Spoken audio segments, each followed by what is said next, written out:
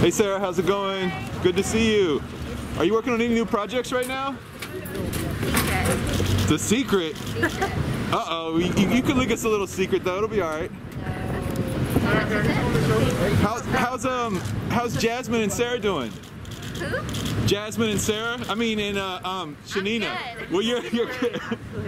Sarah.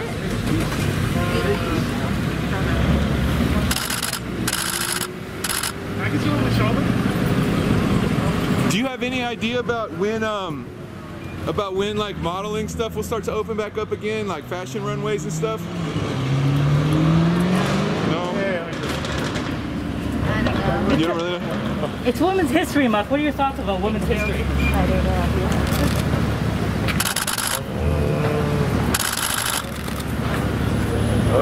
Thank you, Sara. It was so good to see you today.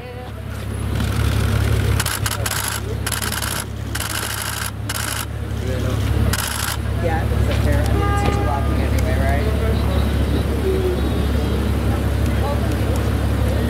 Kind of a little car accident right there, bud.